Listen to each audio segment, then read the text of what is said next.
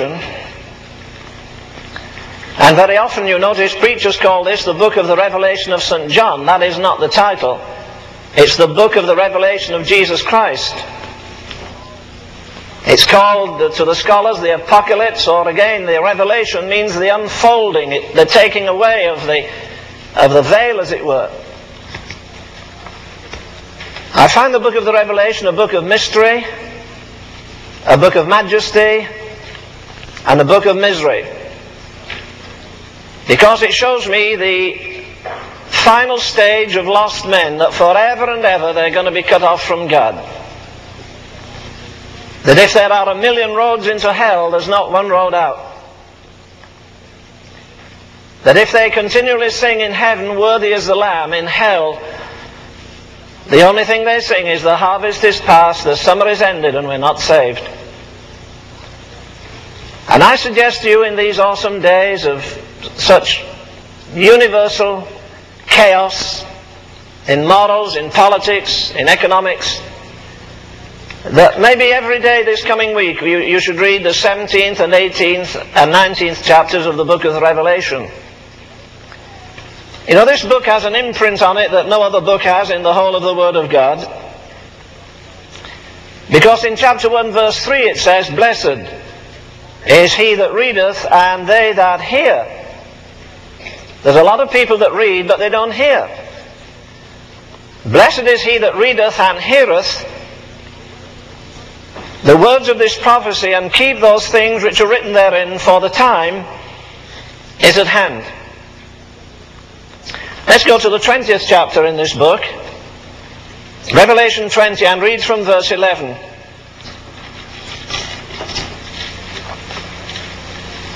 And I saw a great white throne, and him that sat upon it, from whose face the heavens and the earth fled away, and there was found no place for them.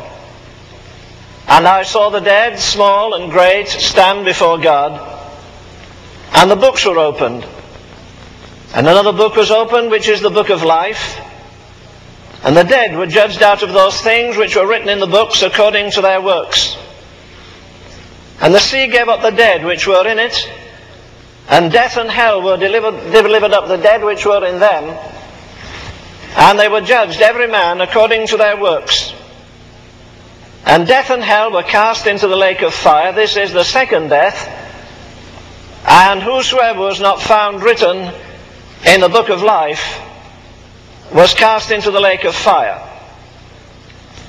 Step over a minute into the third chapter of Paul's first letter to the Thessalonians, chapter 3.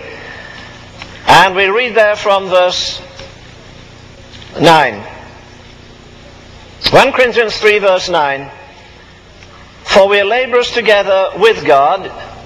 Ye are God's husbandry. Ye are God's building. According to the grace of God which is given unto me as a wise master builder, I have laid the foundation and another buildeth thereon. But let every man take heed how he buildeth thereon. For other foundation can no man lay than that which is laid, which is Jesus Christ. Now if any man build upon this foundation gold, silver, precious stones, wood, hay, stubble, every man's work shall be made manifest, for the day shall declare it. Because it shall be revealed by fire, and the fire shall try every man's work of what sort it is. If any man's work abide, which he buildeth thereupon, he shall receive a reward. If any man's work shall be burned, he shall suffer loss, but he himself shall be saved, yet so as by fire. Now, back to Revelation chapter 20 again.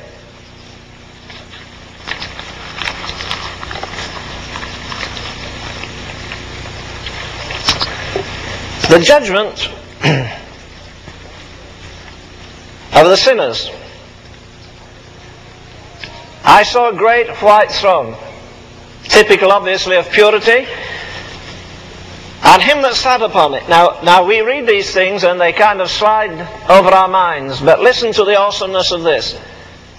From whose face the heavens and the earth fled away, and there was found no place for them. And I saw the dead, small and great, stand before God, and the books were opened. Various titles have been given to this awesome event. John Wesley called it the Great Assize. Billy Sunday, in his wonderful way, called it Payday Sunday. A cowboy preacher preaching on it called it the Last Roundup.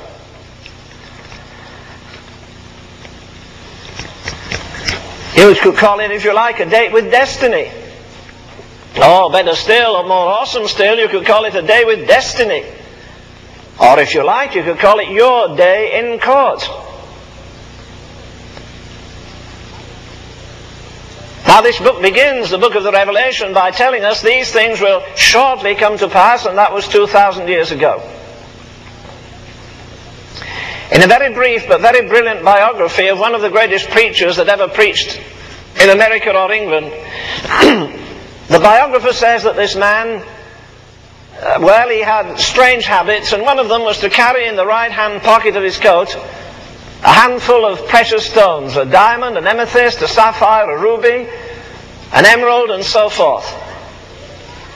To add to his strange ways, he would walk into a park where people were going up and down, and he would put his hand in his pocket and, and take one of those precious stones, and then he would hold it up to the light of the sun, and he would lower it and higher it and seek this different shades from it or different illuminations from it.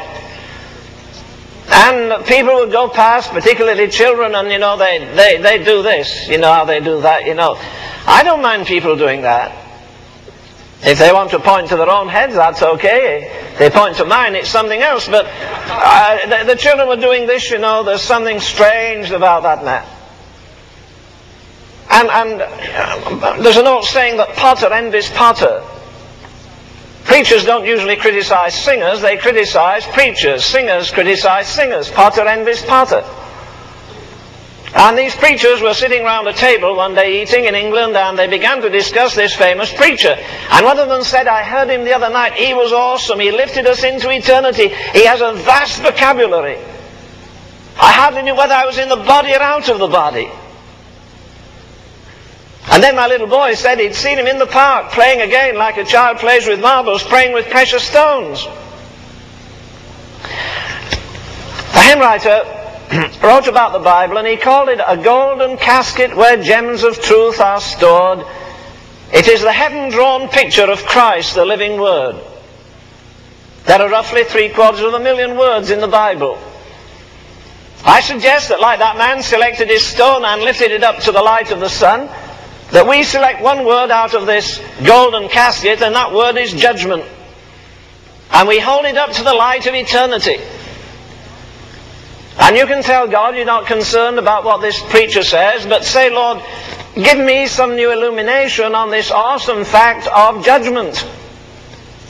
I thought repeatedly this week of that awesome sermon, one of the greatest ever preached in America. Back in the 1700s, it was preached by Jonathan Edwards.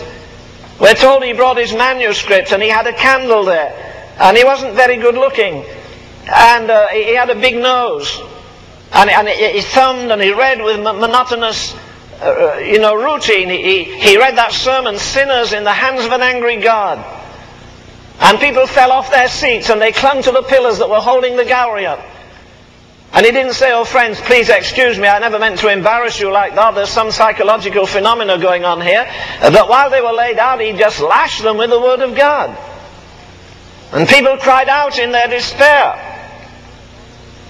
There was a reason for it because before he had prayed over and over and over again, Oh God, stamp eternity on my eyeballs.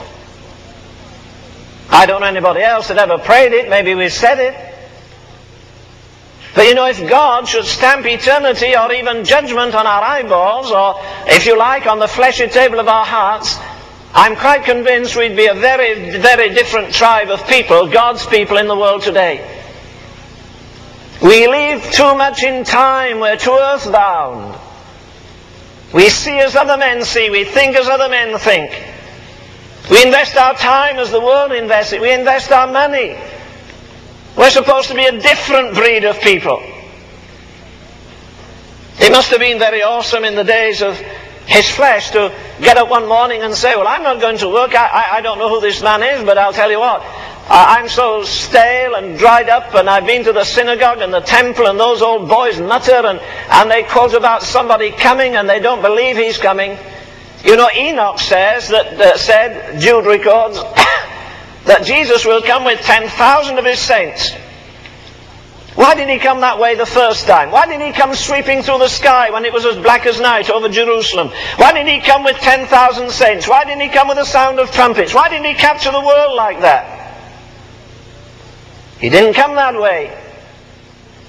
And when he did come, they couldn't believe that somebody clothed in flesh and blood, walking around, that had to eat and sleep and do everything else like we do, was the Son of God.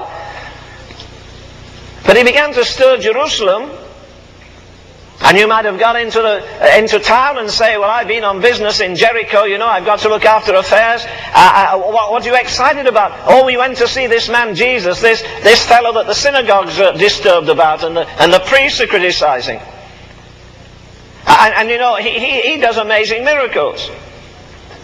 Why? Why? He unplugs deaf ears and, and he casts uh, the, the, demons out of people and, and he cures leprosy. Uh, and you know what he did yesterday? He actually raised a man from the dead. My, that must have excited them.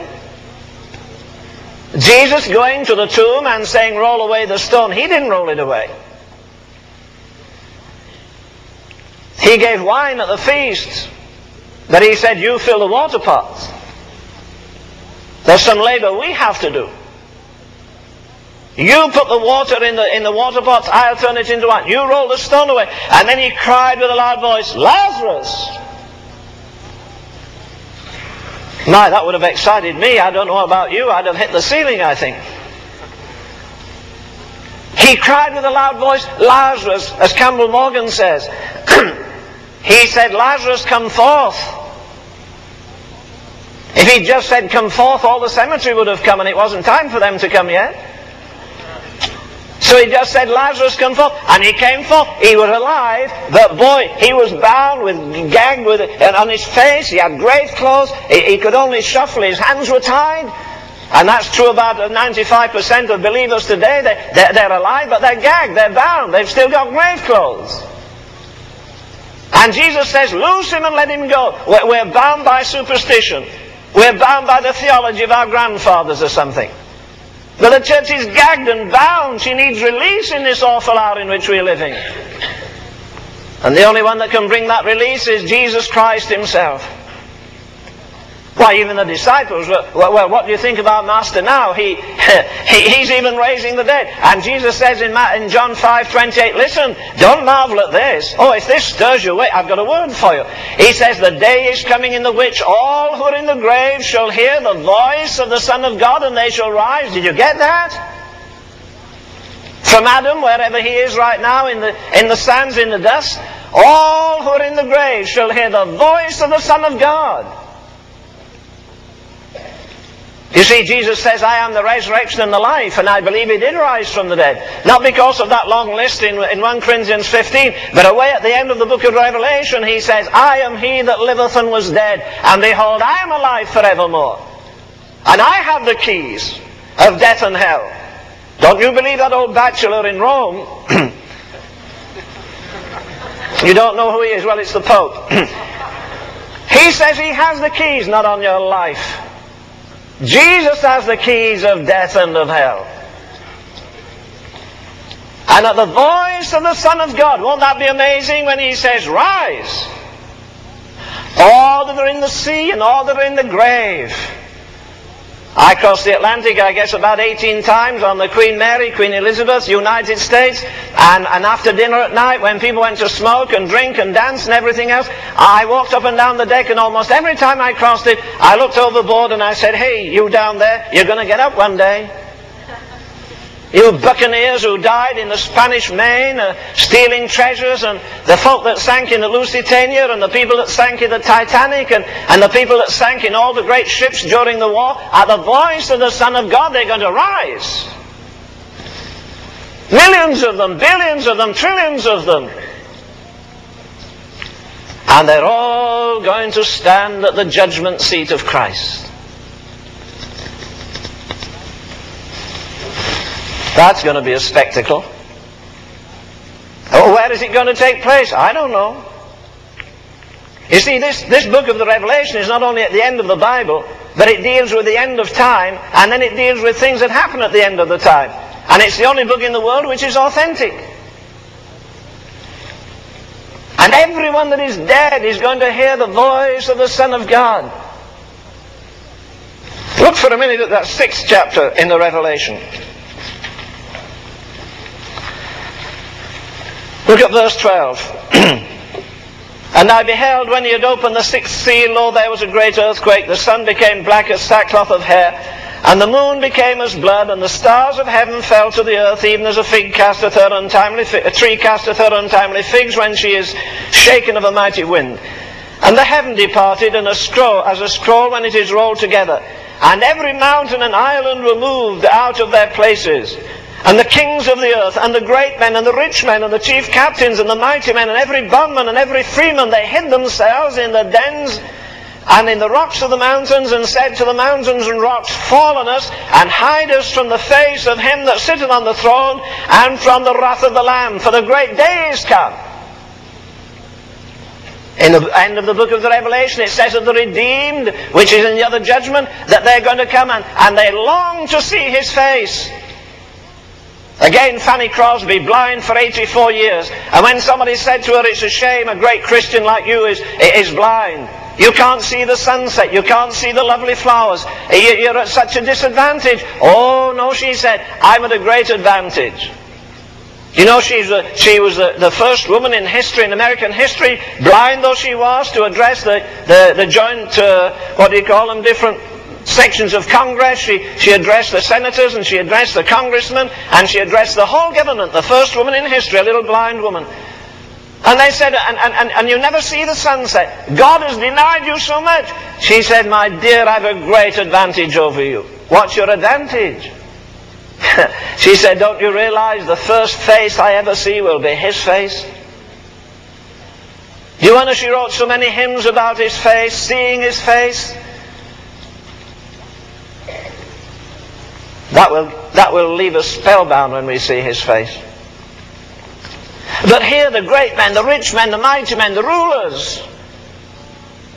I saw the dead, small and great, every king, every king that's ruled over England, the caliphs of Baghdad, the Maharajas of India, the multimillionaires, the billionaires.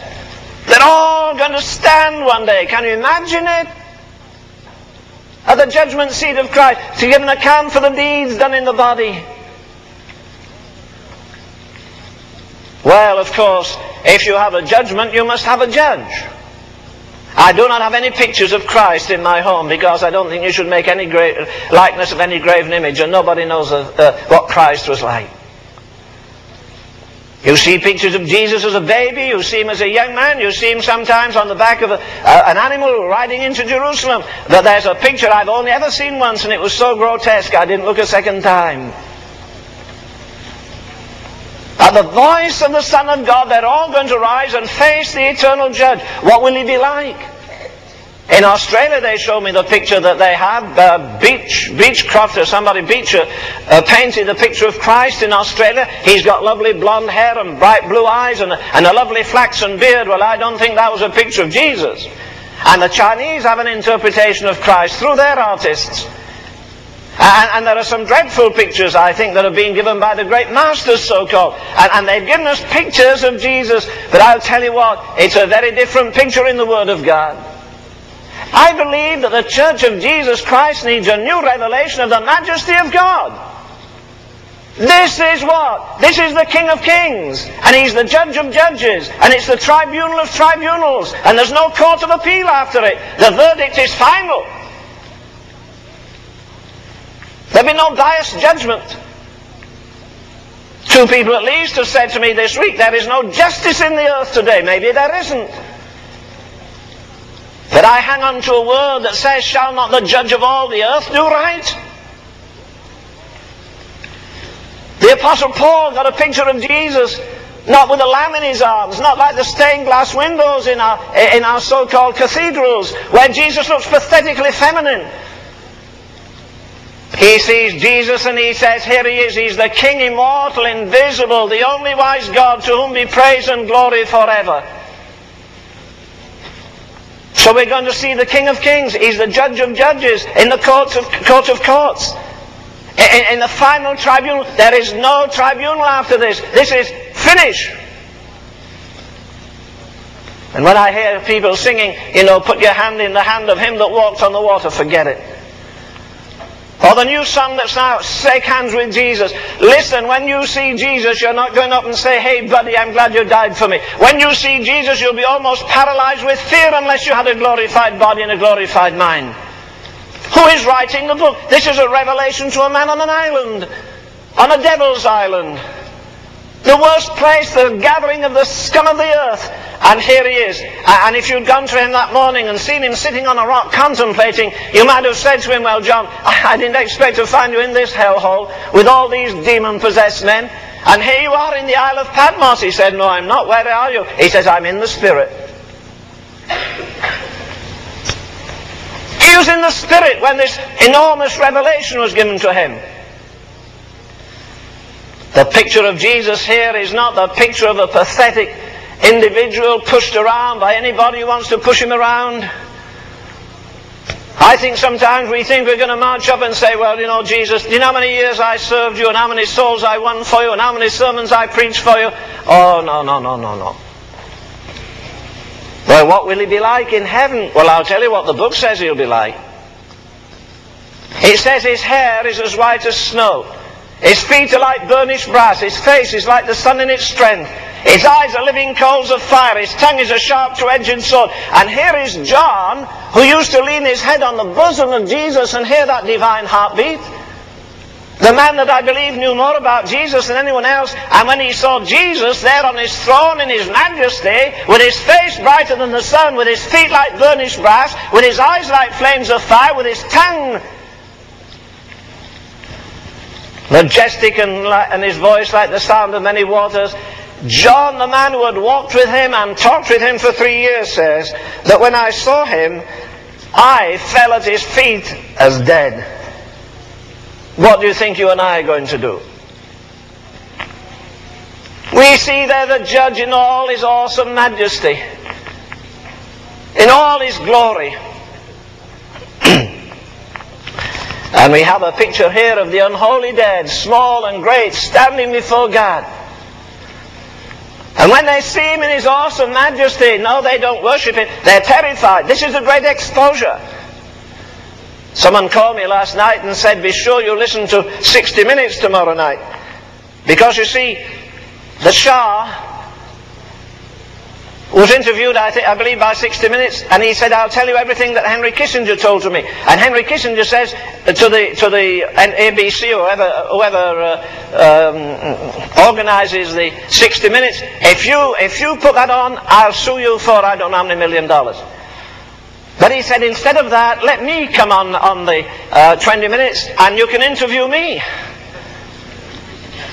And so they said, all right. But this week he reneged. He said he won't come. And I understand tonight they're going to tell us what the Shah, Shah said and the agreements he made. Oh, yes, Mr. Kennedy got away with it, whatever happened at Chappaquiddick. The little girl that was drowned, or was she murdered, or was she pregnant and, and snuffed away? But Mr. Kennedy forgot one thing, it's going to be exposed at the judgment seat of Christ. They couldn't find the 18 minutes on the tapes of Mr. Nixon. Well, I'll tell you who's got a perfect record of them. and they're going to be read out one day before millions. You say, Mr. Raymond, I couldn't stand up there or anywhere else. I'm so nervous. If a few people look at me, I want to tell you something. There'll be a thousand million or trillion people when you stand there at the judgment seat without your wife to lean on or your husband or your preacher or a friend. And it's, it, uh, Paul is writing in the 14th chapter of Romans and he says, we, so he writes of even to believers at the judgment seat. We must all, there's no exception. We must stand at the judgment seat of Christ. You can't send your lawyer, you can't send a representative. You can't send a, send a preacher who says, well, I understand this, uh, this person who's always falling up and down and in and out and you didn't know where they were. I, I, I'll explain it to you. And the Lord says you won't do anything of the kind. Can you see those millions of unholy dead? All the criminals that ever lived, every prostitute that ever went on the, on, on the tour. Uh, can you, can you think of all the men who make millions out of pornography? Can you think of the pimps who pollute those little girls that go to West 44th, West 42nd Street in New York and they go to all the hellholes? Can you imagine when God takes hold of history and empties it? When every man that ever walked the streets of ancient Babylon with all its lust? Or Corinth, which was just one colossal cesspool of impurity? All that happened at Las Vegas last night is going to be thrown on the screen in eternity. Every judge that sits in the High Court is going to be judged one day by an infallible judge. How long will it take? I don't know. And I don't care because we're not going anywhere.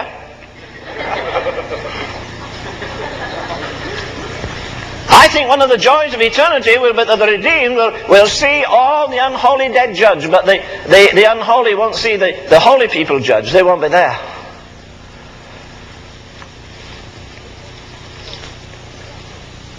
Says the books were open. What books? You say, well, Mr. Ravenhill, I, don't, I won't be in serious trouble because, you know, I don't have a good memory. Well, I'll tell you what, you'll have one that day. I didn't find the statistic because, because in one sense I didn't have time. But in Montreal a few years ago, they, they, they put a kind of uh, uh, little electric gadget on the mind of a man and they began to turn his mind back, back, back and he could recite everything from about the day he was seven years of age. It was all stored up there in the repressed complex of his subconscious, if you like. And they unfolded everything. There's nothing lost. It was all brought to the surface. Well, if a doctor can put his finger on a man's mind and restore his memory, what do you think the Son of God is going to do? Oh, there's going to be some also awful revelations. Oh, there's going to be some weeping and wailing and gnashing of teeth. Oh, yes, Mr. Kissinger, you're going to be totally exposed. What you and Mr. Nixon did lying so long that we were not bombing Cambodia when we were ripping children to death. When we were baptizing them with fire and napalm and taking the skins off their bodies? I'd like to preach a series of sermons on this because, you know, uh, the, the Word of God says there's going to be a judgment of living nations too. There are at least seven judgments coming up, just as there are at least five crowns for the believers. You say, uh, well, I, am not quite sure about this. You know, my, my, no, your memory isn't faulty. Everything you've done, every idle word you've spoken, every action. Let me say it here in case I forget later. I remember one day when I was talking with Dr. Tozer, as we used to talk together so often. He said to me one day, you know, Len, I, I'm not really too worried about what I've done. I'm not too worried about the, the judgment even on my Christian life, which I'll have, I know. But he says, he said, it's the, it's the things I could have done that worry me. The things that I missed. We're not going to be judged just because of what we've done. We're going to be judged for why we did it. Not for the action, for the motive. What motivated your giving? So you, you'd have a plaque with your name on? Or you'd be the top of the list for giving money? Why? Why? Why? What's the motive behind it? Going back to the unholy dead, they're going to stand small and great before God. Sometimes I look at my Encyclopedia Britannica and I think all that history is going to pass before me in flesh and blood. At the judgment seat of Christ. I'll be interested to see Julius Caesar and Tiberius Caesar I'll be fascinated when Pontius Pilate stands before Jesus. I think he'll feel less comfortable than Jesus felt standing before Pontius Pilate. They're all going to stand there. The secret archives of our hearts and lives are going to pass before. Well, you say again, I, I, I still hang on to the fact my memory isn't good. You know, it says the books are open. I don't know what the books are. I think the books of the Ten Commandments for one thing. I think the book of memory for another thing. You, you, you see, this memory is an, an amazing thing. But you know, memory will last into eternity. Oh, I don't think the redeemed will remember their sorrows and heartaches, but I'll tell you what, the unholy dead will remember every time somebody put a tract in their hand. They'll feel it through eternity and wish to God it was there. They remember that they heard their mother's prayers. They remember every sermon. They're going to remember everything because one day a man in hell prayed. It was the wrong place to pray. He prayed to the wrong person. He prayed to Abraham. He got the wrong answer. Son, remember in thy lifetime that you had good things. But I don't want my brothers to come here. But Jesus says, remember.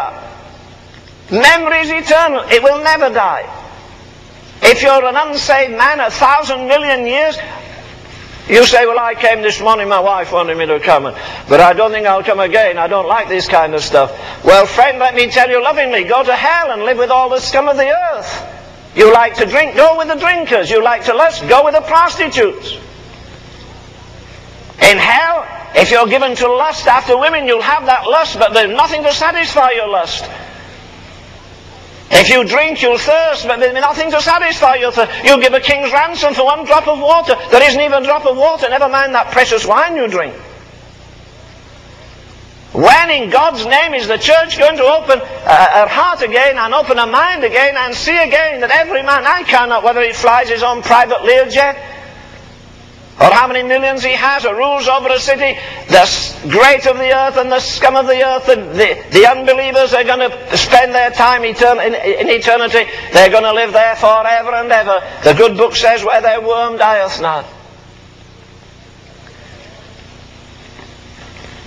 It will be awesome when we see the founders of these cults stand before God. The founder of Jehovah's Witnesses, as they call themselves, Russell, a man who wasn't very moral. And he's going to stand there and people up there will scream, put him into the lowest hell and turn the temperature up. Well, listen, don't you worry about it. The judge of all the earth will do right. Hell won't be the same for everybody. Some will be beaten with a few stripes, some with many stripes. But I'll tell you what, I'd rather be the least in the kingdom of God than be the greatest in the kingdom of the devil anyhow, both in time and in eternity. I saw the dead, small and great, stand before God, and the books were open. You know, some people today have great memories. When Thomas, Themistocles was the mayor of Athens, he could recite the name of every person who lived in town, and there were 20,000 of them. I think it was Cyrus, the king of Persia, knew the name of every man that was in his army, and he never had to be reminded. He, he faultlessly could recite the name of tens of thousands of people. The famous Sir Walter Scott, the great writer, the night before he was five years of age, so obviously he was just in four, and the night before he was saying prayers at his grandma's knee. And his granny said to him, now, now Walter, you, you tonight, do, do something else for me. Instead of just praying your prayer, recite a psalm. And he wasn't five years of age. Maybe granny wished she hadn't asked him. He recited the 119th psalm. That's one way from keeping from going to bed early. the 119th psalm from the mind of a little boy, not five years of age. Oh, we wish we could scrub some things out there in eternity, at least lost men and women will. We read in the sixth chapter there of the book of the Revelation. They said to the mountains and rocks, Fall on us and hide us from the face of him that sitteth on the throne and from the wrath of the Lamb. For the great day of his wrath is come, and who is able to stand? It says in the ninth chapter, verse 6, In those days shall men seek death and shall not find it. They shall desire to die, and death shall flee from them. I believe there'll be a day when a man will put a gun to his head and blow his brains out, and to his amazement, he'll still be living. He'll throw himself from the top of the Empire State Building or the top of a rock into the valley, he'll still be living. They shall seek death, but they shall not find it. There's an awesome aspect for you. Men seeking death and they shall not find it. Do you remember that second psalm where it says, concerning men that God, he that dwelleth in the heavens shall laugh, God shall have them in derision. Can you think a man plagued with every sin he's ever committed, sins of the flesh and sins of the spirit, sins against God, sins against men, and they pursue him like the hounds of hell that are baying after him, and he says, if only I could die and get out of this, and yet if he tries to die, he will not die. And the scripture says, He that dwelleth the holy God, now he's ceased to be a God of mercy. In the fourth chapter of Revelation, you have a, a, a, Christ on the throne. You have a rainbow over the throne, which is a, covenant sign of mercy. You have four and twenty elders, but there's nobody here sharing justice with Jesus. He sits supreme on the throne. There's no four and twenty elders. There's no sea of glass. There's no rainbow of mercy. Mercy is gone forever. I care not how twisted and corrupt your life is this morning. You could be the most sensuous man. A soldier said to me one day, do you, do, do you really believe that God forgive, can God forgive every sin I've ever committed? I said, he sure can.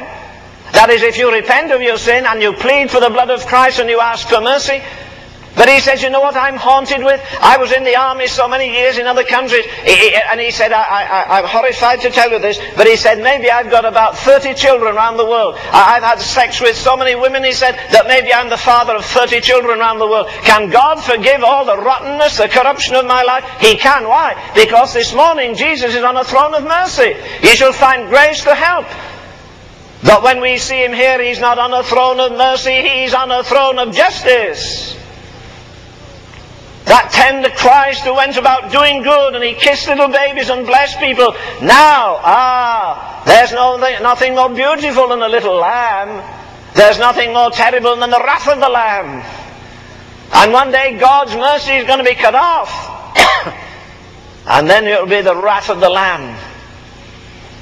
Can you think of all the tribes and nations can you think of Pharaoh standing before Jesus Christ and having to account for the massacre? Can you think of Herod the Great having to account for the massacre?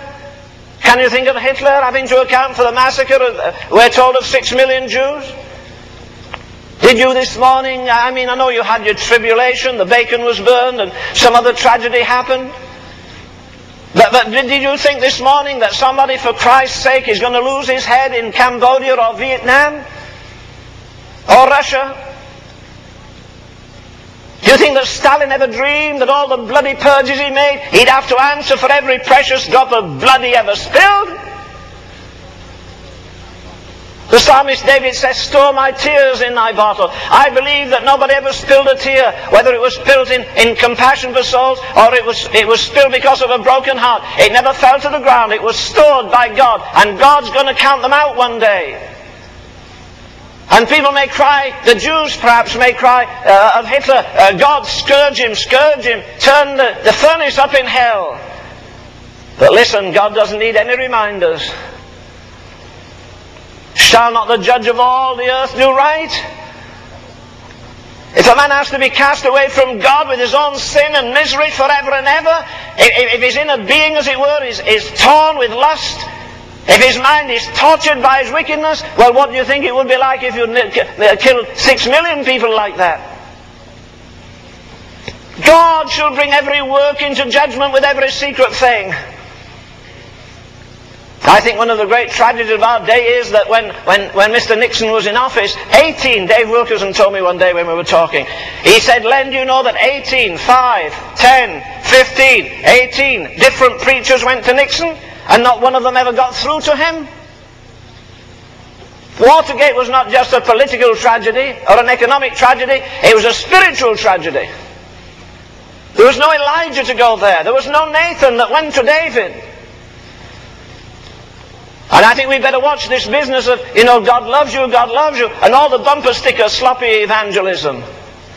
Will you remind people of the goodness and the severity of God? Will you remind them that there's a day when mercy is cut off forever? Will you remind them that people pray in hell but nobody ever answers? The dead, small and great, are going to stand before God in that awesome day. And the book of memory is going to be open, and the Ten Commandments and, and, and other books that God has are going to be open in that awesome day. And there's no mercy. Mercy is gone forever. People will be saying the harvest is past and the summer is ended and I'm not saved. That great scholar Daniel Webster was once asked, what is the greatest thought? You have a colossal mind. What is the greatest thought that has ever traveled down the corridors of your mind? He said, I've thought many great things, but the greatest thing that I've ever thought of, the most awesome, the most terrifying, the most shattering thought I've ever had is my personal accountability to God one day. We all, without exception, must stand there, and I'm dealing that and leaving that section. I could stay longer. Remember, there's going to be a judgment of the living nations and so forth. There's going to be a judgment of angels. Paul says in 1 Corinthians 6, I guess, he says, Don't you know that some of us are going to judge angels? But you see, the thing I'm really saying, I got through my introduction now, let me get to the, the business here. 1 Corinthians 3. This is the judgment of the believers now. We are laborers together with God, ye God's husbandry, ye God's building, according to the grace of God which is given unto me as a wise master builder. I have laid the foundation, and another buildeth thereon. But let every man take heed how he buildeth thereon, for other foundation can no man lay than that is laid, which is Jesus Christ. If any man build upon this foundation gold, silver, precious stones, wood, hay, stubble, every man's work shall be made manifest, for the day shall declare it because it shall be revealed by fire, and the fire shall try every man's work. Notice what it says very carefully here. What sort it is, not what size it is. Not the quantity, but the quality. If any man's work abide, which he hath built thereupon, he shall receive a reward. If any man's work shall be burned, he shall suffer loss, but he himself shall be saved, yet as by fire. So Jesus, as it were, or the Spirit puts these into little pockets. He says your life can be wood or hay or stubble, or your life can be silver, gold, or precious stones. And the fire shall try every man's work. Do you know this will be very, very significant to the people at Corinth? Do you know why? Because not too long before this was written, the whole city of Corinth was devastated by fire. And there were people whose houses were built with beautiful pillars of granite and there were people whose houses were made totally of marble. And the poorer people, their houses were made of uh, just out of straw. And some people had houses made out of hay. And some people had, houses made out of clay and, and, uh, and, and, straw and, and stubble. And when the fire swept through the city, everybody's house if you had a house made of wood or hay or stubble, every house was devastated and it was in ashes. That the houses that were made of precious stones, they were still standing though they were scorched too. And, and, and Paul is writing here and he says, when you go to the judgment seat of Christ, even as a believer with all your works, they're either wood or hay or stubble or silver or gold or precious stones. Now let's visualize. We give a man over here $10,000 and he invests it in wood.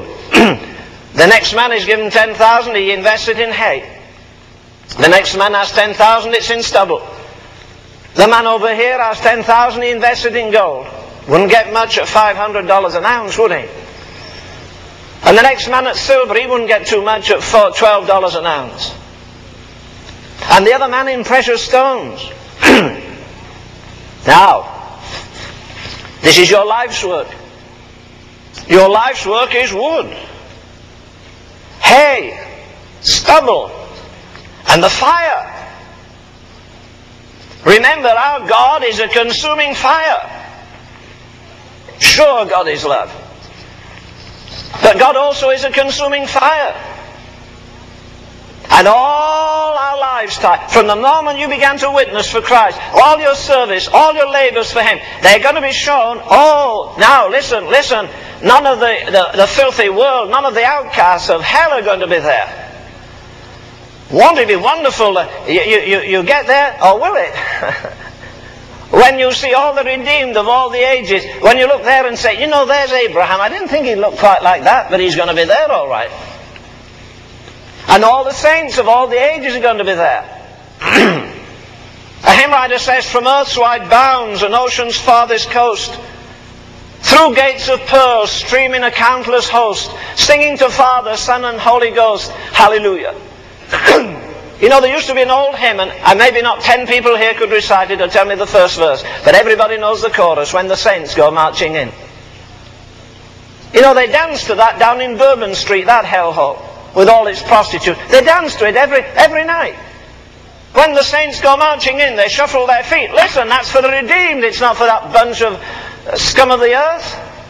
It's for the redeemed. When the saints go marching in, can you imagine them going in? From earth's wide bounds, from ocean's farthest coast, through gates of pearl, streaming a countless host, singing to Father, Son, and Holy Ghost, hallelujah. A multitude which no man can number. I'm going to look in the gallery and see all the saints of all the ages. Man, I'll be thrilled to look on Isaiah and Jeremiah and those major prophets and those minor prophets. And Matthew and Mark and Luke and John and Acts. Well, everybody in Acts anyhow. And the Apostle Paul. And Tychicus and all those strange characters.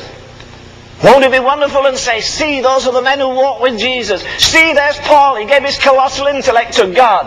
He wrote about 14 epistles. He went over Asia Minor. He didn't sit in a jet and say, you know, how good the Lord is to me. And I, no, sorry. He was lashed at a post 195 times. He was in weariness and fastings and painfulness and tribulation and distress and famine and peril and nakedness and sword. In tribulation amongst false brethren. In perils of the deep. Do you think that man's going to get two ounces of reward for a life like that? You'll only get rewarded. Grace is free, but rewards are not free. People say you're talking about works. Sure I am because God did. Jesus did. You know that some saints again are going to judge the earth? Won't that be an awesome task? I, I, I won't want to be one. Maybe I never will. Maybe I will. Maybe, maybe God will ordain I should do it. Can you see the holy dead all lined up there? All the saints in the Old Testament, all the saints in the New Testament. I, I hope the Lord, I can't give him any advice. I, I think I try to impress sometimes, but I can't give uh, God any advice. I, I like to see a pocket full of those gorgeous people who prayed. Oh my, won't that be wonderful? You know, when you see a political convention, they have a sign up from Cincinnati or somewhere. Maybe there'll be signs in heaven. These, these are the prayer warriors. These are the great sufferers. These are the travailers. These are the missionaries. These are the failures. Well, anyhow, there's, there's going to be all kinds of people listed in that great day. It's going to be an awesome thing. And here is a man, he, his life is just made of wood. Very beautiful. $10,000 wouldn't do much for a, uh, a stack of mahogany these days, would it? But when the fire goes through it, what do you have? All you have is that wood going down until you've got ashes, maybe up to your ankles. And that's all that is left. I heard a woman say not long ago, well, praise the Lord, I'm, I'm, glad I don't have to account for anything when I go to heaven. There is no condemnation for those who are in Christ Jesus. Wait a minute. You can never isolate a scripture by itself. There's no condemnation for past sins. Aren't you mighty glad this morning? I think sometimes, I, I don't wonder that God keep, had to keep saying to Israel, Remember thou wast a bondsman in Egypt. Remember your sin. Remember your iniquity. Did you get up this morning and thank God you were pure? Huh? Did you thank him that that devilish fever you used to have for, for sniffing cocaine or drugs or something, that he broke the fetter of it? Are you really glad you're not a prostitute now? You're going to be a part of the bride of the Lamb? Are you glad he's removed from your heart covetousness and bad temper and all those creepy, horrible things that used to master you? A man's life, all his ministry, it showed. Do you see the difference between the wood and the hay and the stubble and the silver and the gold and the precious stones? Wood, hay and stubble are above the ground. They catch the eye. Silver and gold and precious stones are below the ground. Nobody sees them. There's a lot of public ministry in that day that's going to go down in ashes, my brother. You say, well, it doesn't say that the Christians are going to be judged out of the book. Yes, I think it does. Where? In Malachi. It says that God has a book of remembrance. And I think it would do you good before you go to bed every night this week to ask God, what did you put in your book this, the, today from my life? It doesn't necessarily have to be some outward act. You could worship God on a tractor, you could worship God. It's not the best way, but you can do it still. The fire is going to take the big showy life of that man and burn it, and it's only going to be a bunch of ashes. Wood, hay. Well, if you put $10,000 in hay, you get a lot. Yeah, and you get a lot more ashes too when the fire got to it. And stubble, you could buy half the stubble in Texas maybe for $10,000, but boy, you'd have a mess when the fire got to it. Instead of ashes to your ankles or ashes to your knees, it would be up to your nose maybe, and you couldn't get your way out. But that's what lives are going to be like wood, hay, stubble. I used to have trouble with these boys always begging, you know. And it makes you wonder if some Christians do have hearts of flesh that they won't send them money to keep their jets going. You know, I believe every dime that ever came into Agape every dime that ever came to Oral Roberts, anybody else is going to answer for it at the judgment seat of Christ one day. Jesus talked about these men who, who go and take widows' houses. Well, that's what they're doing now. They're not satisfied that you give while you're living. They're asked you to hand your house over to them. And leave this in your will. And if you do, you'll get a better place in heaven. Don't believe it for a moment. It's a lie from hell. They're going to give an account to God in that day, but I believe we're going to give an account too. A brother was telling me this week when he got baptized, it was a kind of a sudden thing, and, and he went down in, into the water there and suddenly realized he had his wallet in his pocket. Are not many pockets get, you know, not many wallets get baptized. We kind of say, Lord, you look after my sins, I look after the rest. Every penny you earn since you became the property of Jesus Christ, you give an account of before God. He doesn't just take your sins, He takes yourself. He takes the government of your life. There's an awful lot of money being wrongly invested. You know what I think? I, I, I, I may not be right, I usually am, but I may not be quite right in this, but you know what I think? I think that now the crunch is on the nation. I think it's going to get worse and worse. This is going to be the roughest year we've ever lived. I told some of you three years ago that an important man called me late at night and said, Brother Ravenhill, the next three weeks in American history will be the next three weeks we're going to live will be the most important in American history. One of the most famous preachers in the country called me at nearly midnight and said, You know what? I've come to this conclusion. God Almighty's already taken his hands off America. For the simple reason we've had so much light and rejected it.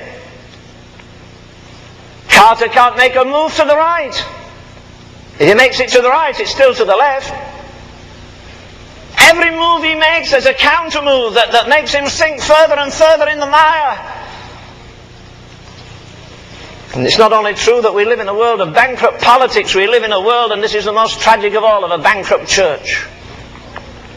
Isn't it awesome to think that all this stuff, we sing, oh, that will be glory for me. Friend, you've got one big stumbling block. Let me rush through this. Time's going. Your life is wood, the fire's going to come. Hay, the fire's going to come to it. Stubble, the fire's going to come to it. But what is your life is silver and gold and precious stones. What is gold a sign of? Gold, I believe, there is a sign of our devotion to God. You wouldn't get much gold for $10,000 today. And I could have a small uh, induction crucible here and put your $10,000 worth of gold and press buttons and, and it moves and moves. What happens when you burn gold? Nothing. All you do is change it from solid to liquid, but you don't reduce it.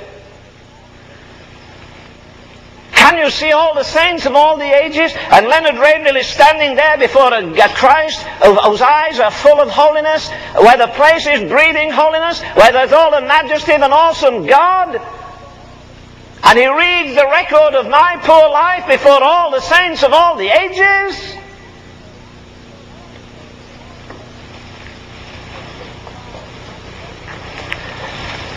And he puts the fire to my devotional life. Am I just a good showman? I sure like to preach because God called me to preach. And I don't care how I preach, I don't care whether you believe me either. I'm not responsible for that. I preach out of my heart all I believe and I die for it. But say, am I just a showman? Uh, what's my, what's my secret life like? We were talking just earlier of yesterday, I guess, about the woman that came with an alabaster box of ointment. You know, I read that story for years and heard it preached on before ever I realized she came for one reason only. She came to worship Jesus. How do you know? Because she brought the most sacrificial gift that she had. How do you know? Because she never said a word while she was there. How do you know? Because he said, I won't wash his feet with water, I'll wash them with tears. I won't dry his head, uh, his feet with, with a gorgeous towel, I'll wipe his feet with the hair of my head. And she poured out that costly fragrance. And then she wiped his feet again. So what happened? The fragrance she poured out on him came back on her. Why isn't my life more fragrant? Because you don't take time to be holy. Because you think if you stuff all the stuff you get at Agape, which I'm sure is good, or some other Bible school, that this is... No, no, no, no, no. God isn't going to measure your intellect the size of your hat. He's going to try with his fire, my devotional life. I think again of a statement Dr. Tozer made to me once. He said, Len, you know what? He said, we'll hardly get our feet out of time into eternity and gaze on eternity before we bow our heads in shame and humiliation and say, my God, look at all the riches there were in Jesus Christ and I've come to the judgment seat almost a pauper. For God has not merely given us Jesus Christ, He's given us all things. And because there isn't enough joy in the house of God, we need entertainment. Because entertainment is the devil's substitute for joy. Because there isn't enough power in the house of God, people are always looking for the last scientific development, and their hair stands up when they see some fancy show on TV. I think before we point the finger at the world, we better turn to the church and say, look, we better all get sackcloth and ashes and humble ourselves and say, Almighty God. When I see the church in the New Testament, they didn't have stately buildings. They didn't have paid evangelists. They didn't have a lot of money. They didn't have organization. They did, couldn't get on TV and beg. But I'll tell you what they did. They turned the world upside down. And I'm embarrassed to be part of the Church of Jesus today because I believe it's an embarrassment to a holy God. Most of our joy is clapping our hands and having a good time, and then afterwards we're talking all the drivel of the world. Oh, to be lost in Him, to be consumed in Him. We mentioned this week a little frail woman, my dear boy that's in South America. Many of you heard him preach Paul. I think he has every book that Amy Wilson Carmichael wrote, about 30 of them. He's drenched himself in, in her teaching. She was a, a fine little Irish woman. She had a curvature of the spine. The last three years of her life, they had to lift her in and out of bed, change her diapers. She was helpless, but she, she loved 350 little children. She wrote this. from subtle love of softening things, from easy choices and weakenings. Not thus a spirit's glor- uh, not, not thus a spirit's glorified. Not this went the crucified. From all that dims thy Calvary. Oh, Lamb of God, deliver me. You know, we're overboard on laughter and happiness. There's an old saying in the world, laugh and the world laughs with you. I change it. I say, laugh and the church laughs with you. But weep and you weep alone. You go so near to the heart of God. We sang it our Friday. We had a marvelous Friday night prayer meeting. I wouldn't have taken that Friday night meeting for $10,000. God came and we were broken and humiliated before Him. You get so near to the heart of God that you share his grief over a world and over a backslidden church that we have today? Can he share his sorrow with you? Oh, yes, you'll get filled with the Holy Ghost and get a bank balance. That's all right. If you do, God will hold you to account for it. But are you big enough to say, Lord, in this crucial hour in human history, let me fill up the sufferings of Christ? Are you prepared to challenge demon power and say, listen, I've moved into the place where the Apostle Paul was when he said, I glory in tribulation, in necessities, in reproaches.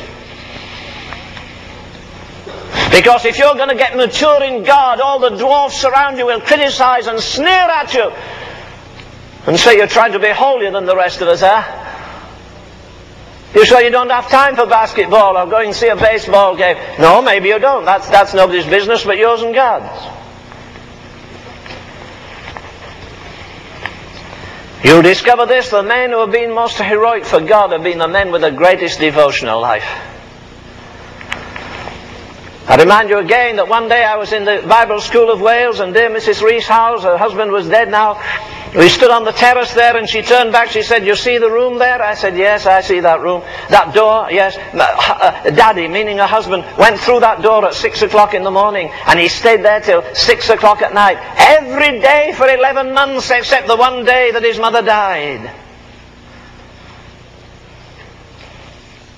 We've mutilated all the hymns. Most of Charles Wesley's hymns had 30 stanzas. Now they've about six. We've done that with other things. You'll see a little board up in homes, in offices sometimes. Only one life, twill soon be past. Only what's done for God will last. That's not what the poet wrote. The poet wrote this, only one life, twill soon be past. Only what's done for God will last. And when I am dying, how glad I shall be if the lamp of my life has been burned out for thee. You think all Christians die happy? Not on your life. They die as miserable as sinners, some of them. Why? Uh, because I've misused my time and I've misused... Lord, if you'll only spare me to do this. Some of you prayed that on a hospital bed. Some of you women, when you thought you were dying giving birth to a child, said, Lord, if you spare my life, I'll do this, that, and Have you done it? The only thing that will tie me in victory continually through the blood of Christ is my personal devotion to Him, the Son of God. My adoration that I give Him my tribute every day. It's more than my service. It's more than giving my money. That I love Him and I adore Him and I magnify Him. I, I take Him as it were by the feet. For all the people who worship Jesus, the woman came and brought an alabaster box of ointment and she was at his feet. She was at his feet eh, on every occasion, that woman, if you follow the story through. When he appeared in the upper room, they seized him by the feet. You get a little bit further in the book of the Revelation, or if you go to the sixth chapter again, you find there it says at the end that the four and twenty elders now, they fell down at his feet you wonder Matthew Bridges wrote that lovely hymn, Crown him with many crowns, the Lamb upon his throne, crown him the Lord of spheres, the potentate of time, crown him the Lord of love, crown him the Lord of spheres, whose power a scepter sways from pole to pole, that war may cease and all be prayer and praise. The one thing that's wrong with that world outside is it thinks it's done with Jesus Christ and it hasn't even started with him yet. For he stands at the end of the trail for every man, rich or poor, bondman or free, black or white, intellectual or ignoramus. What's your devotional life this morning? Would you, would you like Gabriel to hand me the book of your devotional life for the last month and read it to this fine audience? The gold is going to be tried to our devotional life. the silver, what is the silver? I guess you can interpret it different ways. I like to interpret it this way. The book of Proverbs says the tongue of the just is as choice silver. Yeah, every idle word you've spoken, even since you were saved, God has a kind of, eh, eh, you know, He doesn't need a tape recorder, but He has an eternal record of it. You know, the gossip, the slander, the criticism, the prejudice. You know, when somebody upset you and, and, and instead of being quiet, you, you, you spilled out just what was on your heart at that moment.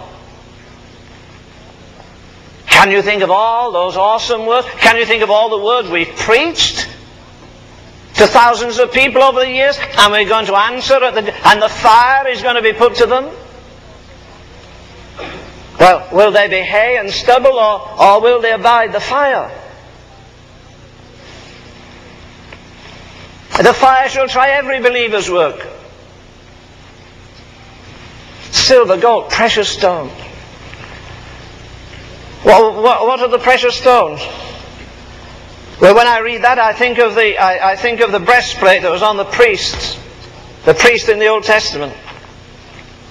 It was divided into twelve. Each stone was a different stone. Each stone had the name of the tribe on it. And he went into the holy place to pray with a breastplate on him. Oh, well, how do you handle this? How do you handle this? You know why the world is poor and sick outside? Because we really don't know how to pray, that's why. Because we're satisfied we've left our lousy living and we don't drink and lust and damn ourselves every day. And, and now we're Christians and we're so content and so happy and so satisfied.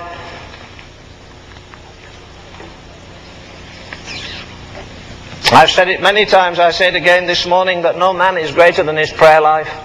I don't care about his organization and his... These boys all have a, um, what is it, um, a mailing list. Doesn't worry me. Let me live with a man a while and share his prayer life, and I'll, I'll tell you how tall I think he is or how majestic I think he is in God.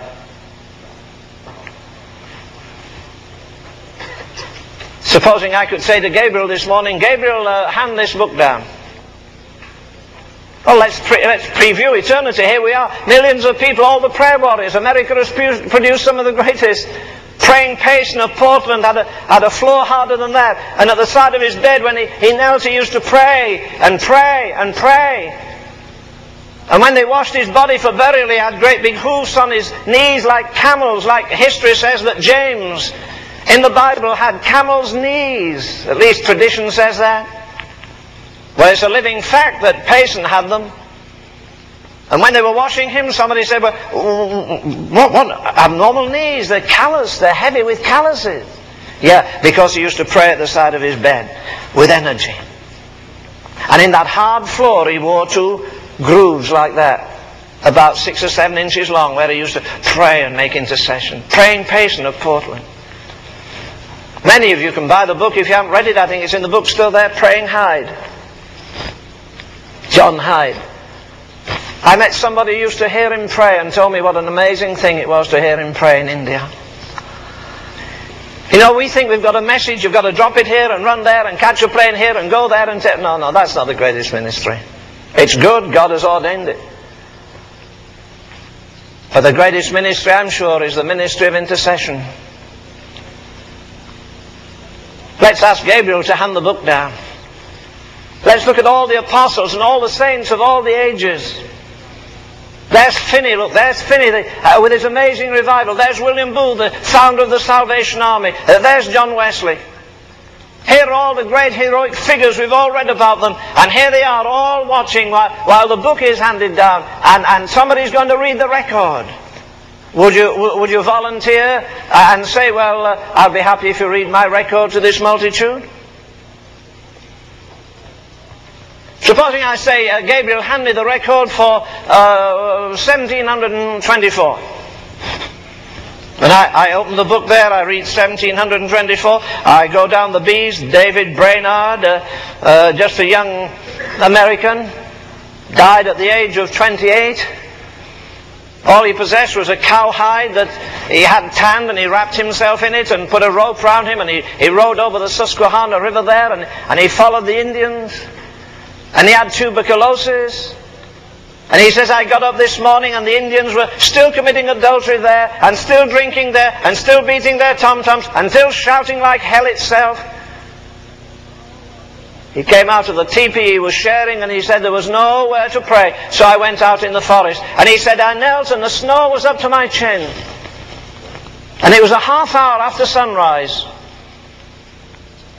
He weighed about 95 pounds. No, he didn't have a heater with him or anything else. He, he was just there in the frigid snow half an hour after sunrise, and he said, I did so wrestle in prayer, he says in his archaic, uh, archaic English. I wrestled in prayer for, for about 12 hours. The sun was setting, and, and then I could only touch the snow with the tips of my fingers. He, he, the snow was up to his chin when he started praying. And he, and he makes intercession of little body that weighed 90 pounds until the sweat of his body melted the snow. Well, God pity us, we can't get folk to our churches, and, and we've got uh, velvet cushions on the seats, and we've got nice uh, stuff on the floor so our darling little knees won't get hurt. And boy, we can't get, we can't muster a corporal's guard to pray in the average church. Praying Payson of Portland, John Hyde, the great intercessor, David Brainerd, When God opens that book of intercession, when He puts the fire to their prayer life, their devotional life, I'll tell you what, there'll be nothing lost. It won't be wood, it won't be hay, it won't be stubble. I discovered this poem just yesterday. It's called His Plan for Me. I didn't have time to memorize it. When I stand at the judgment seat of Christ and He shows His plan for me, the plan of my life as it might have been had He had His way, and I see how I blocked Him here and I checked Him there and I would not yield my will, will there be grief in my Saviour's eyes? Grief, though He loves me still? Would he have me rich and I stand there poor, stripped of all but his grace, while memory runs like a hunted thing down the paths I cannot retrace? Lord of the years that are left to me, I give them to thy hand. Take me and break me and mold me to the pattern that thou hast planned. It's going to be an awesome day. When I was at school, I sat about two thirds back there. There was a kind of a level here, then there were some seats up here, and I sat in the first little gallery, as it were. And you know, I, I didn't mind school too much, but I was very envious in those days of the school captain. He lived, he, he, he worked just across the aisle from me. He was the best soccer player, and I wanted to be that. He was the best at cricket, and I liked cricket. He was the best runner we had, and I liked running. And he was a very good artist. But he was quite a brain. And you know, if I could ever save up my stomach aches, I save them till the day before the final examination. But my mother was smart. She knew I was saving them up. I don't know how. And I get up that morning and say, Mother, oh, I, oh, I don't feel good at all. I, I, I think I should stay at home. She said, okay, you can stay at home tomorrow, but not today. But today was a day of judgment. And you know, the, the, the, things would be put down on the board there, and, and as soon as they were down, Renton would get his, his name was Renton, and he'd get his paper, and he'd dash through it. Man, he was through the first two or three subjects before I'd even got, got the things read. Oh, he and another guy that were there, they used to say, boy, it's exams. And they knew they'd be number one and number two, and every year I was at school, they were number one and number two on the chart when it came out. These boys were always at the top. They had no fear of the judgment. They were prepared for it. I still believe in the majesty of that eternal court with the King of Kings and the Lord of Lords and the Judge of Judges. I still think there'll be an awesomeness about it, so majestic. You see, there's no possible, there's no possibility of any rehearsal. And what? There's no possibility of any repetition. Because again, this is the final judgment. And to some, God will say, Come ye blessed, and others he'll have said, Depart from me. I don't believe there'll be any envy. I won't do it, but I could, I could remind you that there are at least five, five crowns to be given in reward. Paul says that, that the Lord will give him a crown of, of righteousness, which he says the Lord will not only give to me, but all them that love his appearing. There's a crown for the martyrs, those who will die today and have died other days. There's a crown to be given to them. Crowns, crowns, crowns. We won't all be the same in heaven. There'll be great distinctions in heaven. You can't think that the dying thief, he'll be in heaven all right because he said, Remember me when thou comest into thy kingdom. And, and sure enough, God will do that. Jesus said he would. But he'd wasted his life. Take just one character, John Wesley. He was saved soundly when he was 35 years of age. Turn 35 round, it makes 53. Put 53 and 35 together makes 88, the time he died in 1891. The dying thief rejoiced to see that fountain in his day, and there have I, though vile as he, cast all my sins away fine. But are you suggesting that the man who got in on the last tick of the clock is going to have the same reward as John Wesley? Yeah, Wesley made an awful lot of money. Do you know what he did with it? He built orphanages, he built churches, he printed Bibles, he printed hymn books. There was no time wasted in his life. He was methodical, systematic. He went to dinner with the greatest man in English literature, and the man said, Now, you've finished dinner, let's uh, fold our legs under the table, he said. You know, cross your legs under the table, and, and let's uh, just have a nice time of conversation. And Wesley said, I'm sorry, I have to go. Oh, but it is not yet nine o'clock. No, it's not. Well, why are you going? He said, I have an appointment in the morning at four o'clock. At four o'clock? Tomorrow morning? Every morning of my life, he said. With who? With God. He disciplined his life. He disciplined his body in eating. He disciplined his hand in his pocket. We shall stand at the judgment seat of Christ. An awesome prospect for any of us. But the hymn writer says, The eternal glories gleam afar to nerve my faint endeavour.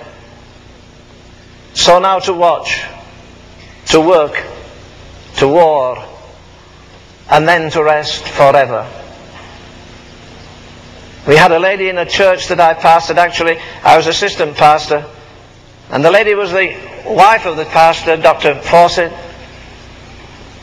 And, and she didn't have a great voice, but they often asked her to sing. And she used to sing the same old hymn every time.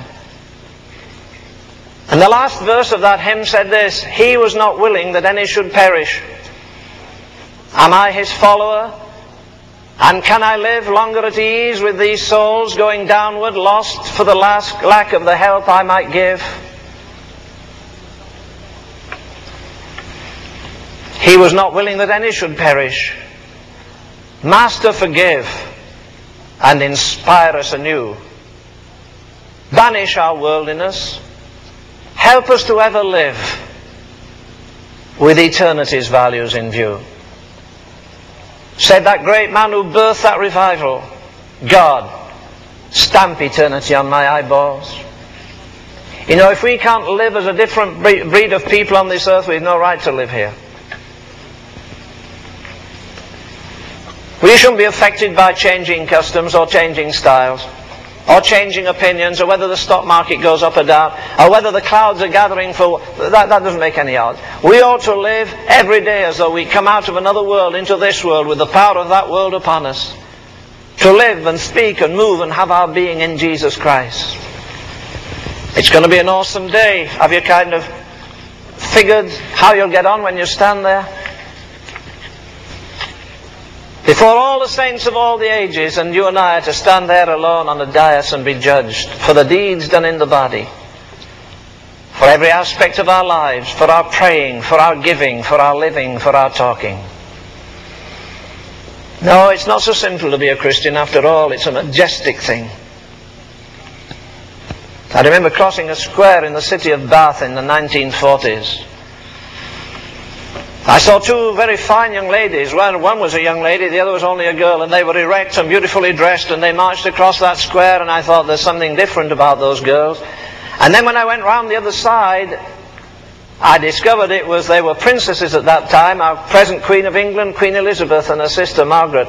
It was the princesses of the royal family, and you know there was a dignity about them very different from anybody else who walked.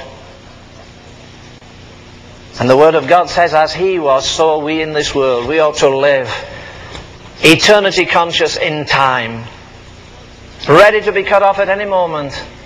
Supposing you were cut off this moment, this moment would, you, would you like your life story read before all the millions in eternity?